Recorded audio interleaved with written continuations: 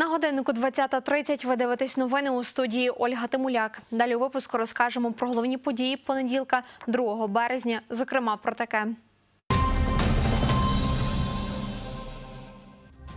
Комунальне підприємство Львів Електротранс придбало 30 нових тролейбусів. Це сучасна техніка, облаштована системою кондиціонування як для водіїв, так і для пасажирів.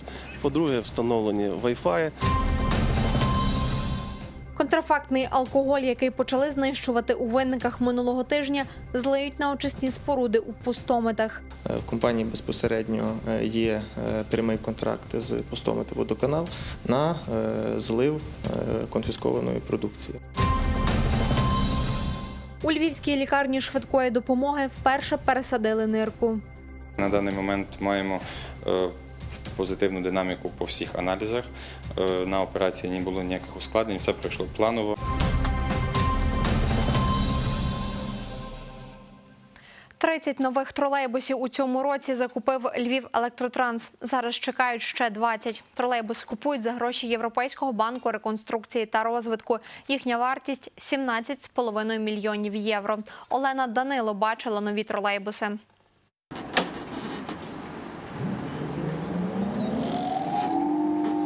Володимир Вірт працює водієм у Львів електротрансі більше 40 років. Він і тестує нові тролейбуси. Вони в управлінні дуже легкі. Ну, є деякі недоліки, але треба доробляти дещо. А так, в основному, можуть бути. Менше ламається, бо тут е, більше е, відповідає електроніка. Ці 10 нових тролейбусів підприємство отримало у лютому. Їх виготовила компанія Електрон. П'ять завтра випустять на маршрут, ще п'ять випробовують. Загалом із кінця минулого року Львів Електротранс отримав 30 нових тролейбусів. Це сучасна техніка, облаштована системою кондиціонування як для водіїв, так і для пасажирів. По-друге, встановлені Wi-Fi. Це низькопідлогові тролейбуси, е, в яких можуть комфортно пересуватися маломобільні групи населення. Е, Облаштовані зарядки для мобільних телефонів. Перед виїздом на маршрут усі трамваї та тролейбуси дезінфікують. Ось так це відбувалося 10 лютого в трамвайному депо. Два ковпачки на 2 літри води для повної дезінфекції. Ми витираємо все поршні. А так в тролейбусному сьогодні. Антихлором. Кожен день спочатку дезінфекція, потім вологі прибирання, е, миття підлоги, повністю всі поручні, все все прибираємо.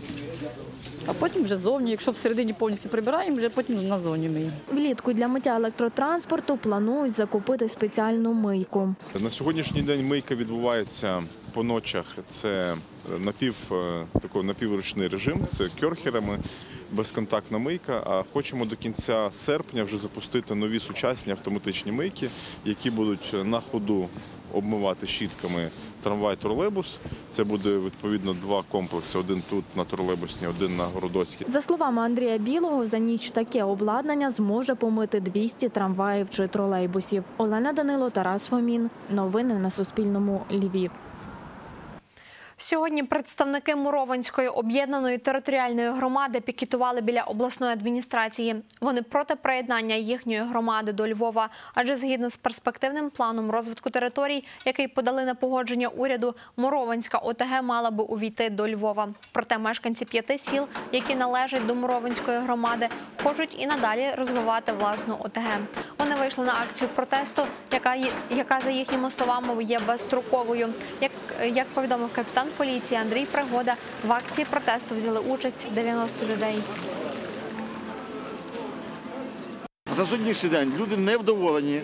Люди не вчора ми робили сходи села. В кожному селі ми приїжджали, говорили людьми, люди будуть стояти до остатнього і не при нас не приєднають до міста. Ми не дамо того зробити, тому що ми розуміємо приєднання з містом, що в нас вийде на кінець. Ми ба- бачимо Білогорщу, ми бачимо другі села. Громада відстоює свої інтереси, оскільки вже два роки Мурованська об'єднана громада успішно діє. Вона є прибутковою. Якщо приїхати на терени наших сіл, то можна побачити результати роботи, і це є не просто слова. І зараз дуже прикро, що ми дізналися про те, що нас хочуть просто приєднати до міста Львова.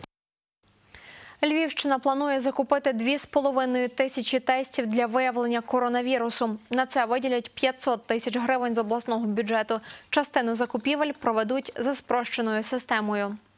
Наші тест-системи ми також не можемо закупляти в тій кількості, яку ми не зможемо використати. В залежності від того, скільки ми отримаємо централізовано з Києва тест-систем, свої ми будемо докупляти вже е, розуміючи ті речі. Оголошені торги будуть на очікувану суму, е, первинно будуть на е, цих на 500 тисяч на тест-системі. Працівники поліції розшукують чоловіка, який учора у пустометах застрелив 22-річну дівчину та поранив 42-річного чоловіка. Це трапилося близько 10-ї вечора. Як повідомляють у прес-службі обласного управління Нацполіції, нападника звати Віктор Васильович Тур, йому 57 років. Зріст 170 сантиметрів, шатен, носить бороду, може бути озброєним. Нагадаю, 1 березня у пустометах на вулиці Садовій сталася стрілянина. Одна дівчина померла. Їй було 22 роки. Ще один чоловік травмований. Нападник втік на автомобілі Volkswagen T5. Згодом авто знайшли у лісі. Водія шукають досі. 22-річна мешканка Яворівського району е, померла в швидкій дорогою до лікарні. 42-річний мешканець Пустомитівського району е, госпіталізований. Лікарі діагностували у нього вогнепальне поранення грудної клітки. Слідчі відкрили кримінальні провадження за фактом вбивства, а також замаху на вбивство. Зловмиснику загрожує довічне позбавлення волі. Просимо усіх, кому відома будь-яка інформація про місце знаходження зловмисника, телефонувати на оперативну лінію 102. Також просимо бути максимально обережними, оскільки він може бути озброєним. Алкоголь, який розпочали утилізовувати у винниках минулого тижня, злеють на очисні споруди у пустометах. Про це повідомив начальник західного міжрегіонального управління Міністерства юстиції Юрій Добуш. Нагадаю, 26 лютого у винниках почали утилізовувати найбільшу в історії України партію алкоголю більше 14 тонн горілки. Уся партія це підроблена горілка різних марок із Хмельниччини. Цю горілку конфіскували у 2014 році. За шість днів у винниках утилізували майже 13 тисяч пляшок горілки. Загалом мають знищити 37,5 тисяч. Відповідно до нового порядку е, поводження з е, конфіскованою продукцією е, було відповідності до законодавства України про публічні закупівлі обрано підрядника, який займається власне утилізацією. Компанія називається Олена Плюс. В компанії безпосередньо є прямий контракт з Постомети водоканал на е, злив е, конфіскованої продукції. Так, 26 лютого у винниках розпочали утилізовувати горілку. Спочатку алкоголь зливають у каністри, а потім виливають на очисні споруди у пустометах. 26 лютого на утилізацію алкоголю приїхав міністр юстиції України Денис Малюська.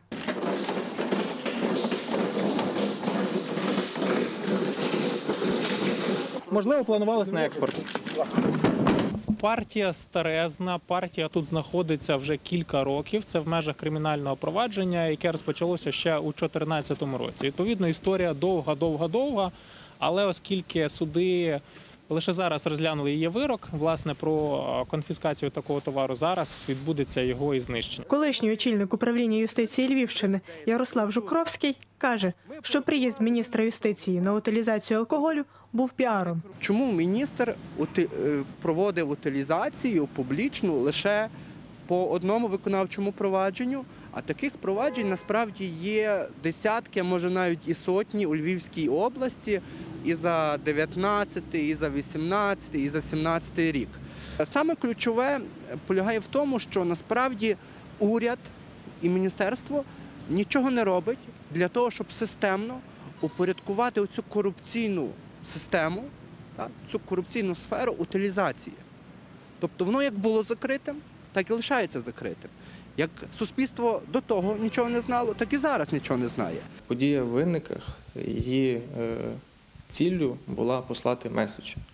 Е, І, на мій погляд, ми його дуже чітко і недвозначно послали про те, що е, вся конфіскована продукція підакцизна, серед іншого, і алкогольні напої, вони будуть знищуватися, а не будуть якимось чином тіньовими способами і невідомими схемами попадати по другому, третьому кругу на ринок. За словами начальника західного міжрегіонального управління Міністерства юстиції Юрія Добоша, утилізувати алкоголь мають до кінця цього тижня.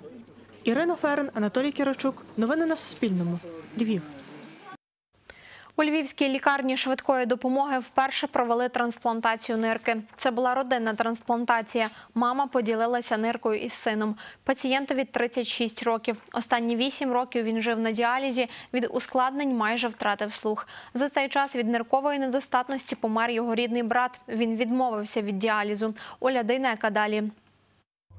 На операцію до Львова Дмитро Капущенко приїхав з Кривого Рогу. Доноркою нирки стала його мама. Все, все як треба, навіть нижче, ніж по стандартам. Ну, тому ми дуже раді, дуже. Я уверен в этом. Богом. Пішли. Пішли. Лікарі провели дві операції: забір органа у мами, потім сама трансплантація нирки сину. Працювали дві бригади лікарів. Трансплантація тривала 4 години. Нирка запрацювала одразу, кажуть лікарі. На даний момент маємо е, позитивну динаміку по всіх аналізах. Е, На операції не було ніяких ускладнень, все пройшло планово. В принципі, пацієнтів готували досить ретельно, бо це є дві операції: це видалення нирки в донора і сама трансплантація реципієнту. Все пройшло успішно, динаміка аналізів дуже-дуже позитивна. Добрий день. Як справи? Все не краще вже? Сьогодні друга доба. Почуваєтесь нормально? Водички побільше, водички побільше. Аналізи кращують, аналізи взагалі добра динаміка, так що все нормально. Чоловік поки в реанімації. Його стан стабільний. і На другу добу після операції у нього почав покращуватися слух. Значно краще. Вчора було ну, трішки тяжко. Вісім останніх років Дмитро Капущенко жив на діалізі. Довгий час не міг наважитись на трансплантацію. Чоловік він якось е, сумнівався, щоб не нашкодити мамі, тому що це також важко з цим буде жити. Тому вирішували, скажімо, всією родиною, як це має бути і як на це зважуватись. Мама була готова. Вона завжди казала, що вона віддасть останнє, тому що син залишився один. Е, Було двоє, залишився один. На жаль, брат е, не зміг, скажімо, бачити себе на діалізі, і він підписав всі папери для того, щоб відмовитись. Відмовився, і, на жаль, його вже серед нас немає. Головний лікар Львівської клінічної лікарні швидкої медичної допомоги Олег Самчук каже, родинну трансплантацію нирки у цій лікарні провели вперше. У медзакладі, окрім родинної трансплантації, також готуються до посмертних пересаджень нирок і серця. Згодом візьмуться за пересадкою інших органів. Зараз цю операцію ми провели повністю безоплатно. Це за кошти спонсорів. Ми не знайшли їх е, для того, щоб зробити цю операцію. Наступні всі операції в даному лікувальному закладі будуть робитися повністю безоплатно, тому що ми входимо, будемо війдемо в проект пілотний від Міністерства охорони здоров'я. Там заключається контрактування, і ми будемо отримати кошти на проведення таких операцій. Так як зараз було проведено 12 лікувальних закладів. Є вже ми хочемо також стати таким одним з закладів, і це буде для пацієнтів безоплатно. У лікарні вже формується лист очікування на трансплантацію органів. Ольга Дейнека, Роман Гнатишин. Новини на Суспільному. Львів.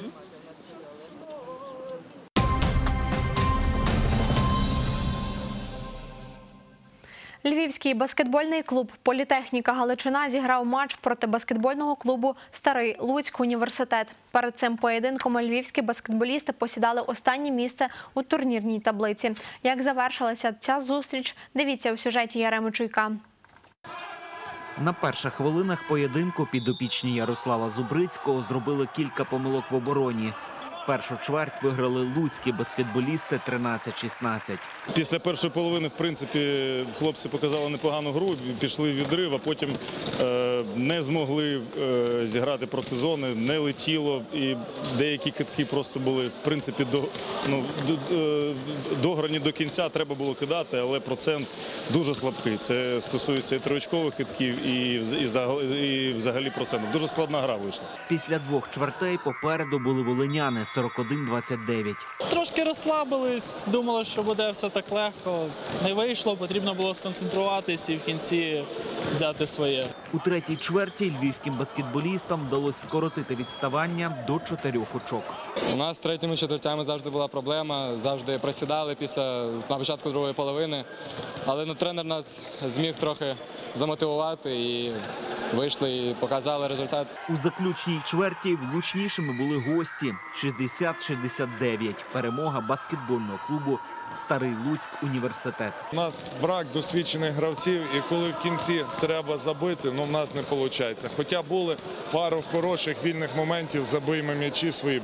Там була трьошка, можна було десь під кільця забити. Було б зовсім, я думаю, ще цікавіша гра. А так, взагалі, ігрою я дуже задоволений. Дякую хлопцям за хорошу гру. У наступному турі політехніки зіграють на виїзді з Южненським хіміком 2. Матчі відбудуться 7 та 8 березня. Яремо Чуйко, новини на Суспільному, Львів. Львів'янка Христина Погранична здобула бронзу на другому етапі гран-прі з художньої гімнастики. Змагання відбувалися в Естонії. Про це повідомили в обласному відділенні Олімпійського комітету. Христина Погранична виступила у всіх чотирьох фіналах і виборола бронзову медаль у вправі з м'ячем, поступившись росіянкам Аріні Аверіній і Катерині Селезньовій. Також львів'янка посіла шосте місце у вправі зі стрічкою і восьме у вправах з булавами та обручем. Це всі новини на сьогодні. Важлива для вас інформація. Розповідайте за номером нашої гарячої лінії. А більше новин читайте на нашому сайті та на сторінках у соціальних мережах. Дивіться новини на ЮА Львів завтра о 13.30. Дякую, що з нами. Затишного вам вечора.